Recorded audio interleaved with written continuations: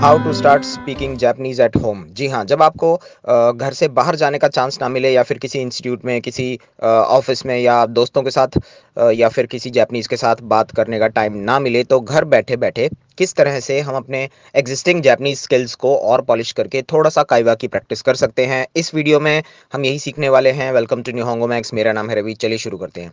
जैसे कि for example मैंने आपको पिछले वीडियो में सिखाया था कि आ, कुछ एक्सप्रेशन हैं जैपनीज़ के जो कि एडवांस लेवल के होते हैं। मेरे और भी वीडियोज़ के अंदर मैंने काफ़ी कोशिश करी आपको एक्सपा एडवांस एक्सप्रेशन सिखाने की, साथ के साथ उनको सीखा कैसे जाए, याद कैसे किया जाए। तो चलिए देखते हैं, आज हम काइवा को अपने स्किल्स को किस तरह से ब्रश कर सकते हैं, किस तरह से पॉलिश कर सकते हैं।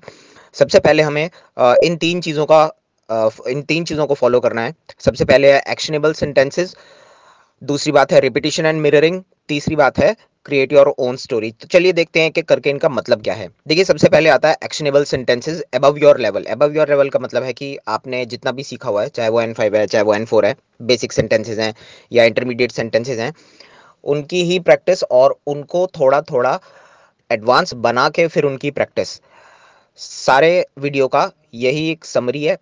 तो सबसे पहले जैसे कि आप जानते हैं, मैंने हमेशा से बताया कि सेंटेंसेस ही आपको सबसे ज़्यादा प्रैक्टिस कराते हैं। चाहे आप कितनी भी ग्रामर याद कर लें वोकेबलरी याद कर लें, जब तक आप उनके सेंटेंसेस नहीं बोलेंगे, जब तक आप उनको एक मीनिंगफुल सेंटेंस में कन्वर्ट करके प्रैक्टिस नहीं करेंगे तो उनका कोई भी फ़ायदा नहीं है। तो सबसे इंपॉर्टेंट पॉइंट आता है सेंटेंसेज की प्रैक्टिस ये क्या है? मैं आपको आगे आने वाले सेक्शन में, जो कि है रिपीटिशन एंड मिररिंग इसमें समझाता हूँ। देखिए मिररिंग और रिपीटिशन इससे लोग समझते हैं कि मुझे मिरर के आगे खड़ा होकर उन सेंटेंसेस को बोलना है। काफ़ी स्टूडेंट्स बोलते हैं आपस में ये सब बातें।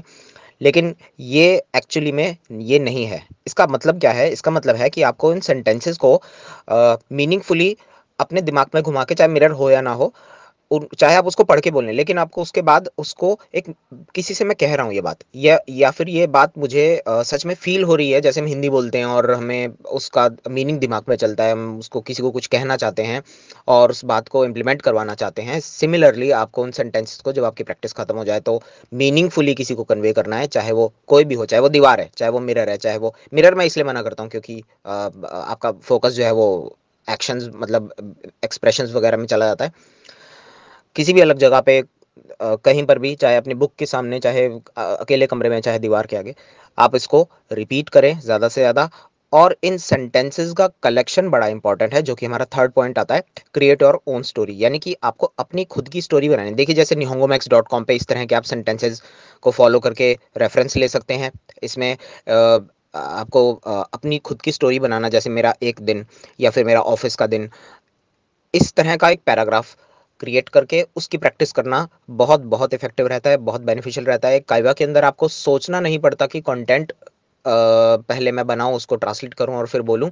काइवा एक ऐसी चीज़ है जो कि आपको नेचुरली अंदर से निकलनी चाहिए और उसके लिए आपको प्रैक्टिस होनी चाहिए कंटेंट चाहे जो भी है, आप थोड़ा बहुत उसको मैनेज कर सकते हैं असेंबल करके। तो ऑल द बेस्ट इन सब टेक्निक्स को फॉलो करके अपनी बुक्स को एग्जिस्टिंग बुक्स को ही रिवाइज करिए और आपकी काइवा, इसमें सारी बात मेहनत की डिसिप्लिन की और टाइम लगाने की है, आपकी काइवा एक महीने में या पंद्रह दिन में ही आप चाहें तो बोलने लग सकते हैं। All the best